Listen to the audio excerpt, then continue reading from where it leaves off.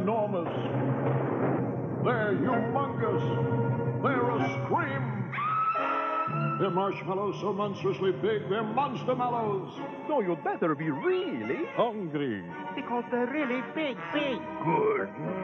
Monster mallows. Yummy. So you can run to your nearest breakfast table and wolf down Count Chocula, Franken Berry, and Fruity Yummy Mummy, the monstrous part of this complete breakfast.